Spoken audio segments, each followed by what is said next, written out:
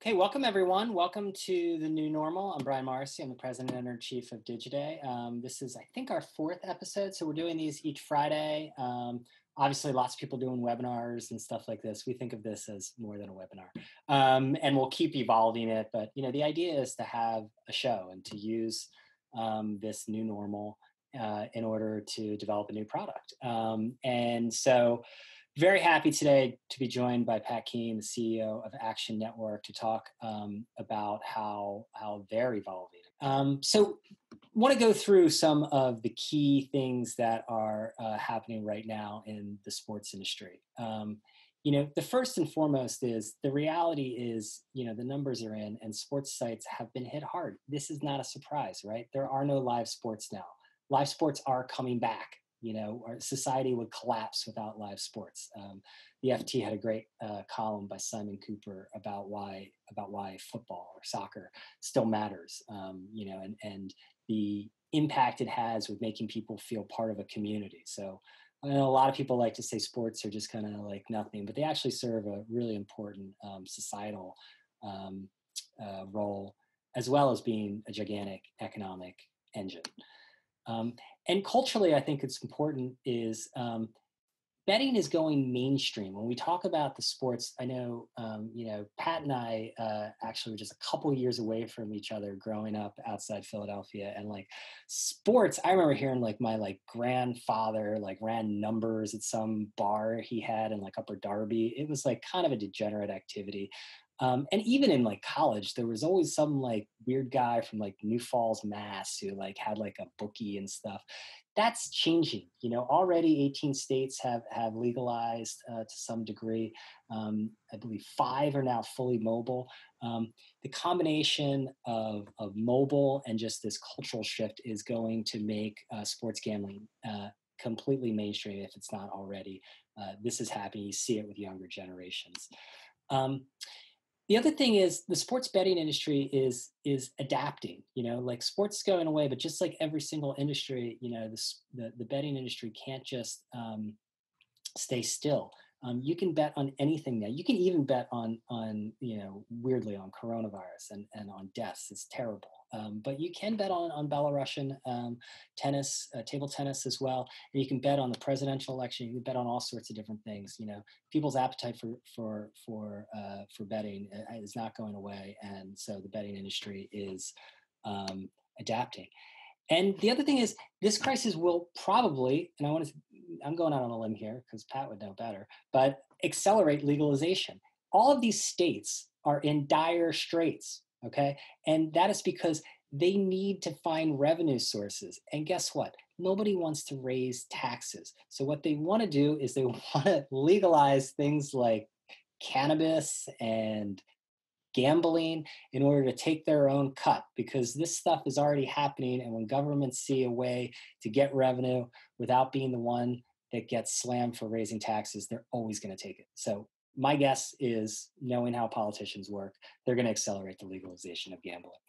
Um, and finally, um, this all fits the overall trend when we see monetization. And, and, and Pat has been um, in this this world going back to going back to Google and even before then Jupiter Research, um, and he knows you know the, the the shift that we're seeing is publishers realize they got to get direct they got to get closer to the transaction and so more of publisher monetization whether that's through commerce or whether it's frankly through selling subscriptions it's moving to getting to a direct transaction okay and so gambling is perfectly fit in this so I want to bring in Pat that was my my little intro.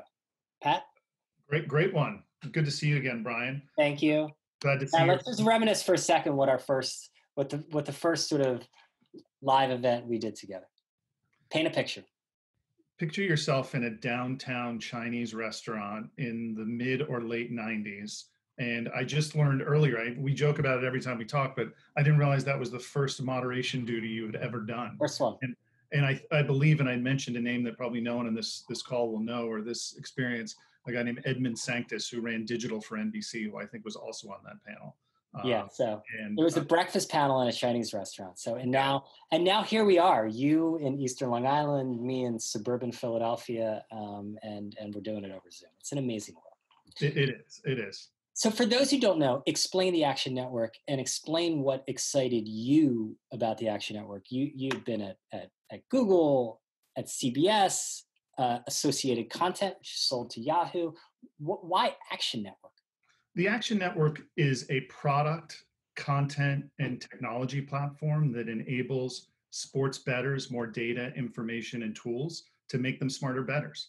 We would like to see all sports fans become legal and responsible sports bettors, but we create tools and content and data to help you inform. One of our most important parts of our product is the ability to track your bets.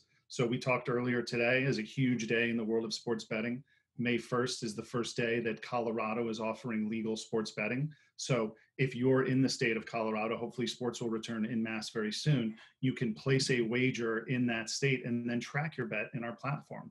And that is a really powerful tool. We are also evolving and building products like BetSync, where you're able to sync your bet almost like you would a Mint or a uh, or a Robinhood or Yahoo Finance, where you're able to sync those bets. So we're really a tools driven, a content driven, and a subscription platform. We, like you at Digiday, really do believe that people will pay for highly verticalized content that informs a decision and our decision that it informs is how you place a wager and how you place a future bet and all of the numbers have proven and you mentioned earlier 18 states legal five states that are fully mobile in new jersey pennsylvania west virginia indiana and now colorado which we're incredibly excited about colorado is going to be a massive opportunity in the category and i went to the business because I'm a, I'm a huge sports fan, as you know. We've been friends for a long time. I really believe in sports. I personally was never a big better before I came to the company, but it is so fun. It is so engaging, and it creates a communal experience around sports that I've never experienced in my life. So uh, I just before we get too deep into I, it, I love this. There you have 12 year old Chad Millman. He looks great. He's just like popping up out of the. Oh, amazing. Uh, but before we get to Chad, on the 40 different calls I have with him every single day. Chad's, uh, you know, this is, by the way, a great, a great tradition of this industry is using out of date headshots. So just continuing it. Um, I think I've got one from from uh, the Chinese restaurant gig that that I'm still using.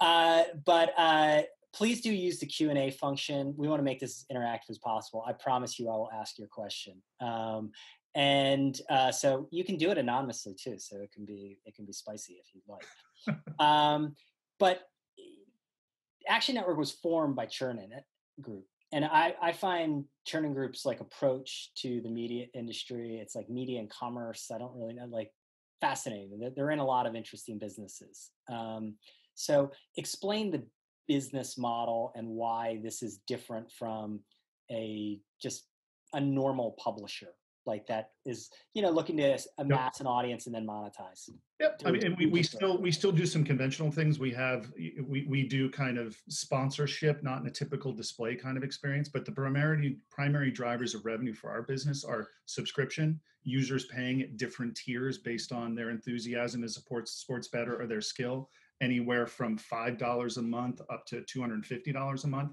think of that bloomberg terminal type experience if you were a, a very avid sports better uh, but then what we think and are pretty confident is going to be the bigger opportunity for our business is an affiliate platform. So we convert our millions of users to become betters on legal sports books that we partner with. So I mentioned in Colorado, we would partner with a business like PointsBet or William Hill or any of the other large, you look at FanDuel and DraftKings that are going to be in these markets. So we partner with them in New Jersey and Pennsylvania, Indiana, and West Virginia we will soon be in Colorado. And what you're able to do through those partnerships is generate a CPA or cost per acquisition because our users are betting with the most frequently. They're the most sophisticated. And it's really a massive land grab. I mean, I think the people that are familiar with most are FanDuel and DraftKings, but there are many new entrants coming into the category. So to be able to acquire a customer in a legal state is a huge opportunity to be able to have that user. And it's interesting, you know, in the US, we're, we're net new to sports betting for the most part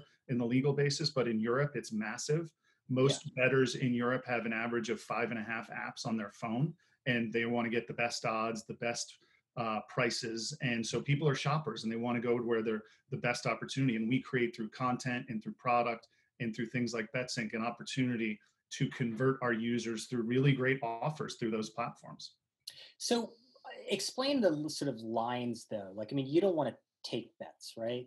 Absolutely not. No, it's a very good question. We are we are not an operator. We're very different than those properties. We really want to be an introductory platform into those businesses. But you know, think of us more like an Expedia or a Travelocity. Uh, challenging reference with the travel industry being such Uh-oh. challenges. You got to get another but, one. Then. but in the sense that we're a two-sided marketplace. We're a marketplace that allows for both supply and demand. So but why won't why won't the the providers want to just do the do the media themselves and rather than you know i mean won't won't you come in con- conflict ultimately with your your people paying you uh, not necessarily. I mean, well, the the user wants the best offers they can get. Full stop. So whether that you know that's one of the things that we do. We create unique offers. So our content team will produce unique offers in partnership with one of the books. Um, whether it's you know a Super Bowl offer we did around the 49, you get both sides of a 49ers plus 50 and you know it's almost free money because again they're really trying to convert you into those books. But remember draftkings and fanduel from their dfs days they've been really they've built very powerful brands. And all, a lot of those platforms are you know they're wrapping buses going back and forth from new jersey to new york and pennsylvania et cetera. But to be able to have what we think is the tip of the spear in terms of audience our entire audience full stop is sports bettors so you're going to get a lot of looky loos in other kind of general environments. If you're doing a lot of television, if you're doing a lot of outdoor, you're going to probably not get the most um, yield necessarily or the most efficiency with your ad spend. We yeah. are the most efficient acquisition tool for full stop in their entire marketing stack or partnership so, stack. So basically, you have an intent-based traffic. I mean, you know this from Google, right? I mean, yep. Yep. like people are coming there with intent. That's absolutely right, and and a lot of them are are sports bettors to begin with, but at the same time, there are so many net new opportunities with all of these states coming on board and all of these new books. You know, Penn National did their deal with Barstool. That was all about customer acquisition and trying to lower the cost of acquisition because these are these are pretty significant investments that they need to do. But if you're able to assume and be able to build the right lifetime value and build an acquisition funnel that makes sense, um, you know, it's pretty simple math to spend money in our platform to acquire users versus just broadly spending to try and catch a, a sports better in an environment where you presume them to be. So Tommy Bohr is in with the uh, Burr, maybe I don't know, uh, is in with the first question, which is uh, which is one I was just going to get to, Tommy. I swear, but I'll give it to you anyway. Which is he talked about where you are with monetizing the app from an advertising standpoint. Maybe I could just like expand that and say, what is your what's the revenue portfolio right now of of Action Network? I mean, advertising is de minimis. It's very small. Uh, the overwhelming majority for today is that combination of subscription and affiliate. In terms of advertising, I mean, we certainly have, you know, we're not going to be at the scale of an ESPN or a CBS Sports or some of the other entities that are sort of more broadly appealing to a general sports fan. But, you know, we do deals with PointsBet, which is a uh, is a challenger upstart brand uh, out of Australia that is now in New Jersey and will be in Colorado as well. And they will do sponsorship, so they will sponsor some of our talent. So Darren Rovell, who is who is one of our talent and producers and senior producers at Action Network, we did a really fun Fade Rovell uh, experience with PointsBet, where you got if if Darren lost a bet, he'd have to do a a a stupid or fun feat of some kind, and that was a six figure deal that looks like sponsorship but is not bought on a cpm it's not bought on would be would be traditional display or advertising metrics but you know we we really don't want to clutter because it's a subscription experience we don't want to clutter our experience with uh, ads and non sort of targeted to your point that you mentioned earlier about google really high intent high user experience driven uh, uh, uh ad content Okay, so uh, we actually have a, another question from. Uh, I always mispronounce Ava's name, Ava Sieve, I believe. Um, so, w- what are your sources for for uh, your own audience? Like, are you like search dependent, or are you do people say, "Hey, I'm a gambler. I know I'm going to the Action Network."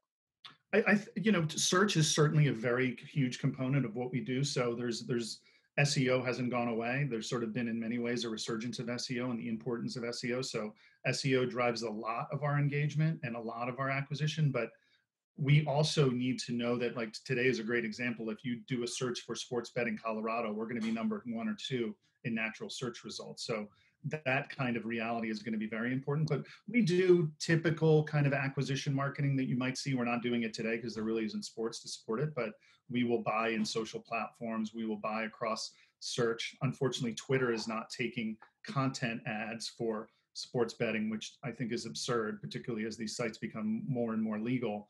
But we also have, to your point, a high intent user who's familiar with the brand, who is an avid sports bettor and knows from our talent, you know, Chad and his team, Chad Millman, who runs content, has hired a great organization for talent, and our products and tools are, are best in class. So a sports bettor knows that from just the general market of, of an affiliation and knowledge of sports betting is Action Network is the number one property to track your bets and to find information about how to bet. Okay, so we are now 20 minutes into this. I give I give with all the podcasts and this now 20 minute uh, time to not mention coronavirus, but the 20 minutes is up. Coronavirus. I'm on uh, Action's site right now, um, and I, you can usually tell a lot from a nav bar. You know how people organize internally and what is most important, and you go left to right. NFL, not happening. NBA, not happening. Golf through golf bet, not happening MMA. Soon, soon though. We have two weeks. MMA. You're going to have golf in two weeks. Okay. I'm, I'm talking now though. MMA, God, not happening. Esports happening. And then you get on to sports calendar, best books, and stuff like this. You're in a challenging near term. I think long term, I seems to me all the the trends are in the right direction. Near term, oh God, yeah, it's it's not a pretty picture. Um, we are a business that thrives on sports being live, that sports happening. We're immaterial to if those sports have fans or not. Um, you know, I, I, think the sports experience being a communal one is desirous of having fans, but the reality of our business is if people can bet on sports and they can watch sports on TV and can engage with their friends in a community respect to sports betting, our business is going to do just fine. But to your point, there's a lot of unpredictability. The rumors about Major League Baseball returning in early July. We're going to have a couple of golf events just in the next few weeks. There's the Tiger Phil, Tom Brady, Peyton Manning match that's going to be at the end of this month. And then in a few weeks, there's going to be a tailor made, uh, made for charity COVID relief event that's going to be Dustin Johnson, Rory McIlroy, Rickie Fowler, and Matt Hoa, um, which will be fun. And our community, I think you're going to see ratings for these kinds of events that are going to be extraordinary. If you look at what happened with the NFL draft, which we even saw a higher and larger audience for our content this year than we did pre-COVID last year. So I think there's just a massive desire for people to say, I've watched all the Money Heist and uh, whatever Netflix show they're binging on today. Fauda was me. That was an amazing show. Um, but yeah, people, you're gonna you're gonna see ratings that are gonna look like Cheers final season. Um, yeah, no, I mean extraordinary when sports come back. It's just desire. I like the reference to Cheers final season. No, nobody has any. No, no, no. Maybe, maybe like the Mash final episode. Let's just go all the way back. Um, uh, so yes, for those of you who are Digiday Plus members, Pat and I are going to discuss the Eagles drafting of Jalen Hurts for three hours directly after this. Uh, this. Oh man! Again, join Digiday Plus. Use TNN uh, code, and you'll get to join for three hours of what the hell are the Eagles doing. um, but what are you guys doing to bridge the gap? Sports are coming back and we'll get to that um, you know there's going to be it, it, it could get it could be kind of weird but like as i said in the intro like sports have to come back and also this is america. There's too much yep. money there's too much money. I'm sorry. Yep. what are I you mean, doing we, to bridge the gap? What are you doing to bridge the gap? We, we as a publisher continue to create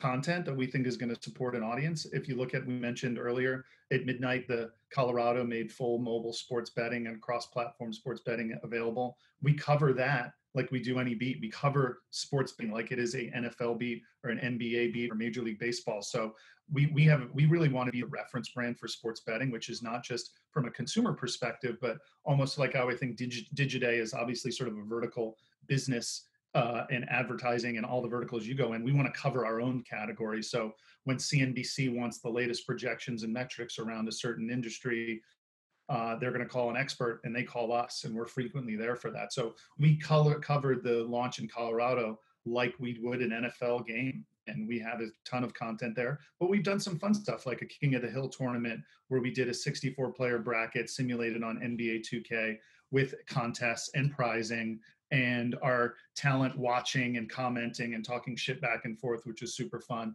I mentioned the NFL draft. We were up almost 150% year over year. So we continue to support our social handles and drive content into all the things that we're doing. Um, Twitch has become a new channel that we think is a pretty interesting yeah. video experience that we're starting to create content for, which has been fun wait, as well. Wait, wait Pat, can, can, you talk about that a little? I know uh, we have a we have a, a visual from this um, this uh, effort, the stump, the stuck.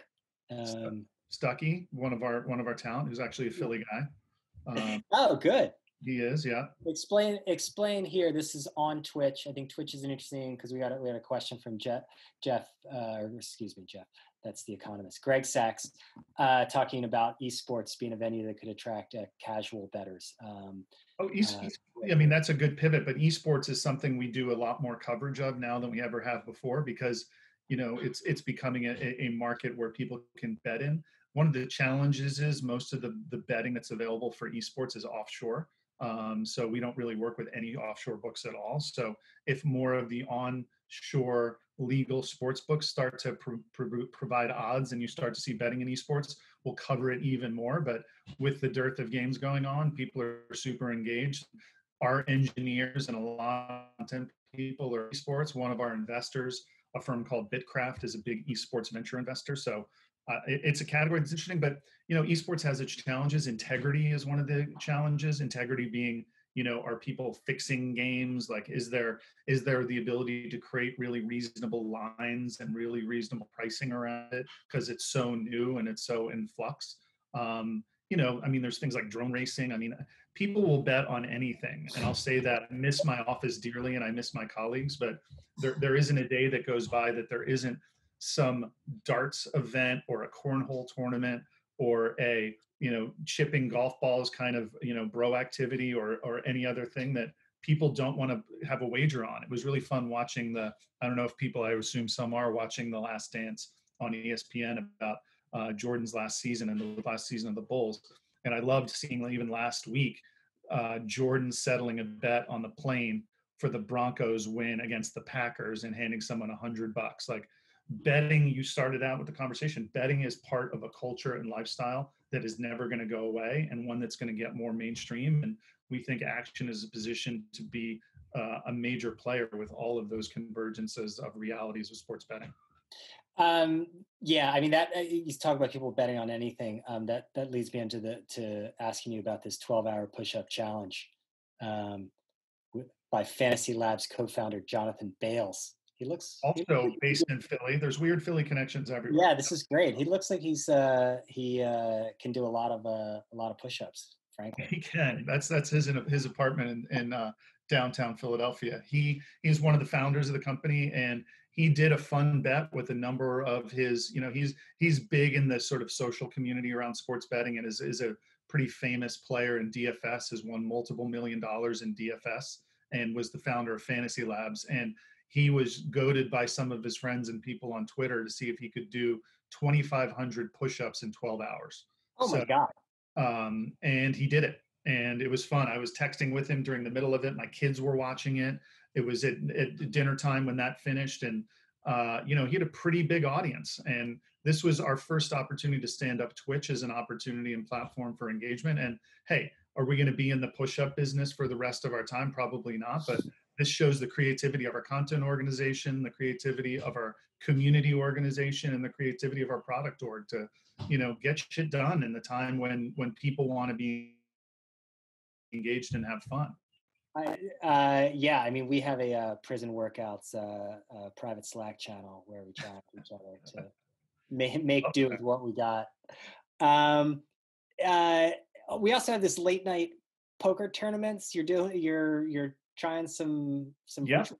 We, with some of our talent, you can see Worldwide Wob there and and Collin Wilson and Justin Phan, but also bringing in some of the most famous uh, poker tournament players in the world, people who have won world poker tournaments, and you know, people are looking for something to do. We're all at home, and there's only so much Call of Duty you can play, and there's only so much Netflix. But you know, we we like supporting things like poker, which we wouldn't say is, you know, your typical casino game that doesn't have an edge and doesn't have an opportunity to play against someone to use edge. You know, our business, that's our, our base subscription platform is called Edge. And everything we do is about giving prescriptive advice about how you should bet and be more informed. And we think poker is an area where, unlike say blackjack or roulette or some of the other typical casino and parlor games, you can actually have edge. And so we can cover poker like we do a lot of other categories around the platform at, at Action Network. Okay, and you mentioned the Last Dance. You did a memorabilia show. I know you've been like posting nonstop on on Twitter. Some, I mean, I can't find my uh, baseball card collection, which is roughly overlaps. I mean, you're a couple years older, I believe. Yeah. Um, but uh, it roughly overlaps. I mean, my my baseball card collecting days were were mostly between like 1980 and 1984, but uh, you were I think you were just a little bit small overlap. I, I definitely. I mean, I I was an obsessive baseball card collector. I have kept them in a box at my home here in an undisclosed location on Eastern Long Island, and every night, maybe after a cocktail or two, I will go through those and post them on Twitter for people like you and other friends that I know are watching. Yeah. Um, and one of my close friends and colleagues, Darren Rovell at Action, he has been doing these memorabilia shows and he's going to continue to do them. And his network of followers and people he's covered his entire career, people like Cal Ripken. Ripken brought on his Jordans from a game worn pair of Jordans from 97. And Rovell talked to a memorabilia expert who said those were worth 75 grand. And um, and he was actually at the game and just talking to people like Nat Turner, who's a, a friend and a, and a and a inveterate baseball card and memorabilia card and collector. And I think just the the Last Dance and ESPN, which has done you know the best ratings in the history of that platform, ESPN, in terms of a documentary, people are craving to discuss Jordan memorabilia and Jordan stories about betting. Um, you know, you and I being Sixers fans, I mean, I think a lot of Knicks fans hate Jordan a lot more than I do because of what he he's done. But I was a Jordan freak as a kid. I owed lawns in 1984 to be able to pay for my first pair of Jordans, and took SEPTA into downtown Center City to a shady, you know, store and paid cash for mowing lawns and got my first pair of Jordans. And I've been a collector ever since. So memorabilia is super fun. He's gotten great people. George Karl, one of the coaches of the Dream Team, he had last week, who they appraised a dream team signed 1992 Olympics gold medal uniform. I mean, that's it's just fun stuff. And but, but there's, this there's, feels like something that's like right up Darren Rovell's alley. Like, I mean, right? Like, I'm wondering which of these things stick around because I think a lot of us and everyone in the publishing industry is trying new things, and the question ends up becoming what sticks around. Because I know we've got, you know, politics, for instance. You, are doing more with with with politics betting, right? I mean, Tommy uh, uh, Burr is back with you know asking about betting outside of sports and the Academy Awards and politics. Um, mm-hmm. But um, which of these kind of sticks around? I mean, is politics? It's going to be big. We'll, we'll see. I mean, West Virginia posted odds very briefly and pulled them quickly. I mean, we'll cover anything that legal books will have odds against. So that could be that could be just about anything. I mean, DraftKings this this past year had legal odds against the Academy Awards. Um, you know, we'll we'll we'll we'll do that. Um, you know, it's it's fun to cover these things. I don't think your your your average sophisticated better is typically not going to bet it in mass here, but um, you know, it's it's you know it's an interesting thing to cover and it gets attention. Okay, so let's get to to after you know this bridge when are sports coming back? What are your what are your odds? Eh, what are we what are we looking at? Um, yeah. You mentioned baseball uh, in July. Are they doing that thing where they're sticking everyone like in in Arizona, or what do you? We we've heard rumors. I mean, Cal very explicit about not having any real gatherings around events for maybe the next uh, the rest of the year. So I'd see the 49ers, A's, and Dodgers and, and Angels perhaps moving to Texas. I'm, hearing Texas, Arizona, and Florida. They want to get 100 games in. Um, is is rumored. Rumors are July 1st or 4th around there. Doing double headers every weekend, having uh, neutral warm weather sites for the playoffs, and extending the playoffs maybe into December, early December. You know, we we don't have a real line of sight or anything that eh, more than others do, but we we are preparing for what we think is going to be the biggest fall in the history of sports with you're going to have the Masters. You're going to have baseball. You're going to have football. College football is going to be a question mark, but you could have uh, a a finish to the NBA season and a, and a truncated playoffs. But we're we're praying for all those things because, like I said, I think this could be the biggest sports fall ever. And we also have a couple more states coming legal in uh, and mobile by the end of the year in Tennessee yeah. and Virginia. So, but there, but there needs to be sports for people to bet on. Yes, uh, we don't we don't care if people are watching them in venue, but we do need sports for people to bet on. Bundesliga we've heard has been pushed out a little bit. UFC that that just in another week or so. Those two golf tournaments that we mentioned, the PGA Tour, uh, who's a big partner of ours, we've created a platform with the tour called Golf Bet, and the tour is talking about a return mid next month. There's there's probably no better social distancing sport there is than golf. Um, NASCAR, we're hearing about returning next week as well. Um, all of these things people can bet on, and we're excited to create content, platform, and tools to help people bet on them. But um, you know, all of these things are moving targets. And when we finally get a calendar, I mean, the NFL is probably not too far from releasing its schedule. Okay, so let's talk about that because I mean, the NFL has th- that has to be half your engagement, right? It, it, it is the biggest. Well, college and professional football are biggest, but professional football for sure is our largest. Um, yeah, eh, the NFL is just is so massive that um, I think when we talk about all these different sports, we forget that for all the stuff about CTE and stuff, the NFL is as close as we have truly to like a national sport. Yep. Um, there's too much money at stake for the NFL not to have a season, right?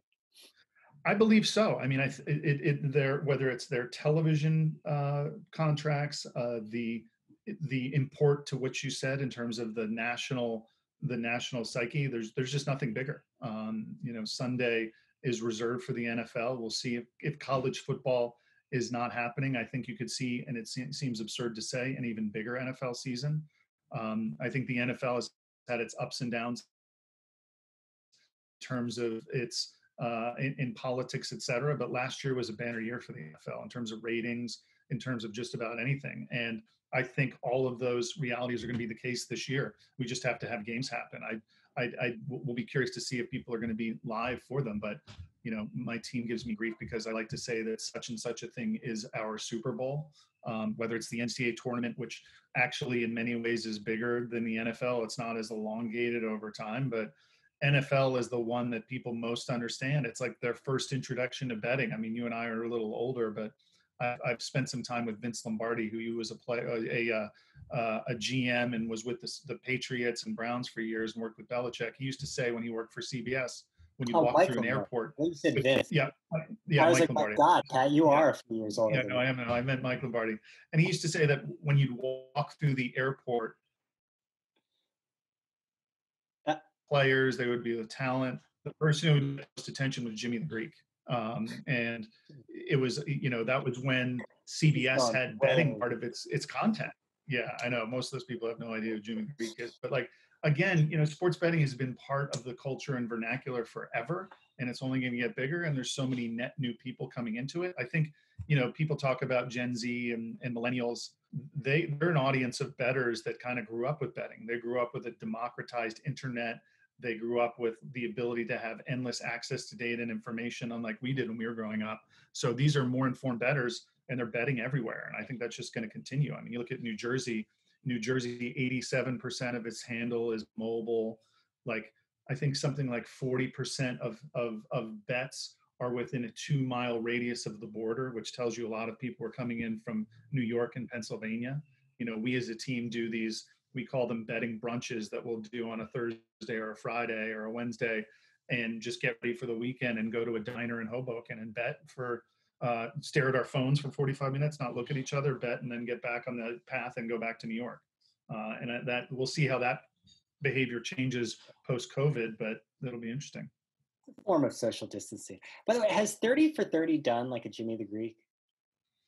I I know there was a I think there was. I don't know if it was 30 for 30 or one of their E60 things, but um yes, there was a you know, his his whole yeah, he's a, he's a long story. Yeah, the downfall, of, yeah. the Sports Illustrated article. There's a lot there. If not, yeah, Showtime Showtime did a, a a documentary. I don't know how many parts it was, maybe four on sports betting earlier this year. Um, so it's definitely it's it's becoming more part of the culture with legalization and um, and all of the other momentum that's been happening politically behind sports betting. Okay, so you're expecting NFL this fall, sometime this fall. We are. We are. That's in your scenario. It is. Is there like is there like a worst case scenario where there's no betting, there's a second wave? Like I mean, how are you scenario planning that or is it just like look, we're going with this as the scenario. I mean, we're going with this as our scenario today. All all bets are off if things change. We could see that changing, and we don't really have control of that of that calendar. And you know, every day, even our own government, that seemed to change whether the second or not.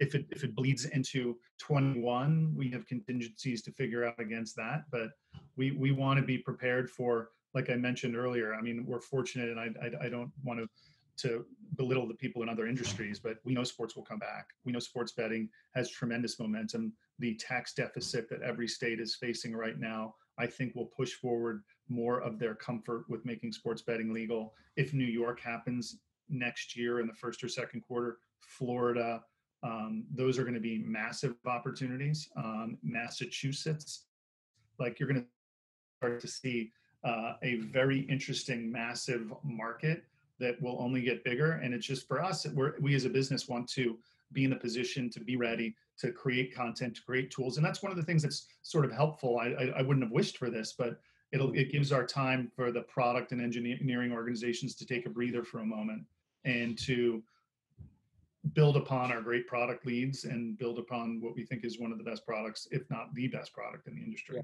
So I want to again encourage people if you have any final questions to please uh, pop them in the Q and A function. Um, happy to happy to field them.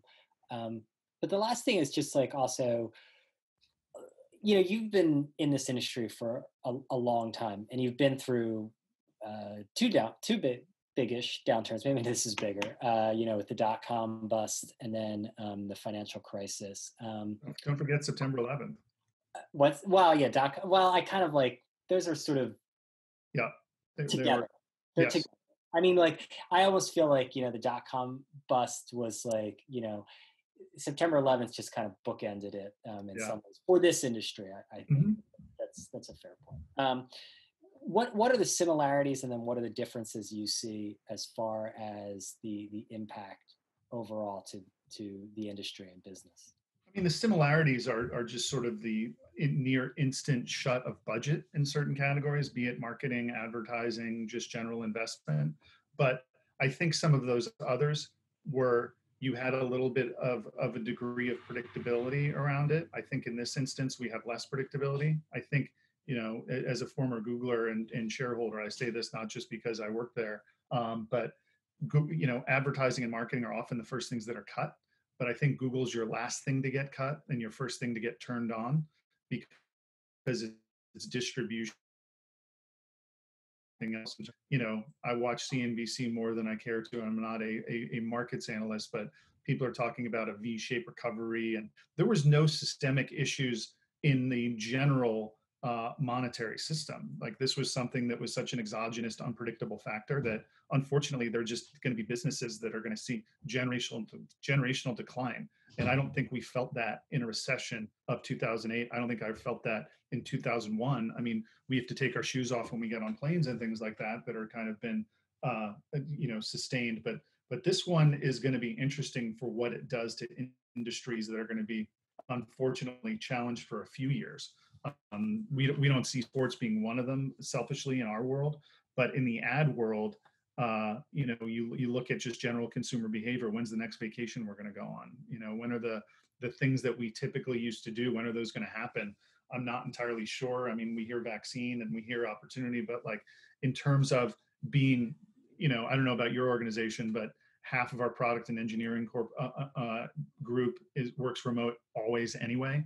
Our content organization similarly. So we were as a business were able to collaborate and work remotely very well. Digital tools like the one we're on in zoom make make that easy for us. So what's the new norm of business is going to be interesting because all of our business is digital and it can still go in that fashion. So the FAANG organizations that continue to be digital like ours I feel pretty good about. Um, it's just uh, it's it's just it's very different than 2008 or 2001. I, I can't even compare them. Yeah, more lasting. Okay, we'll leave it there. But Pat, thank you so much. Really appreciate you joining us. Good to see you as always, friend.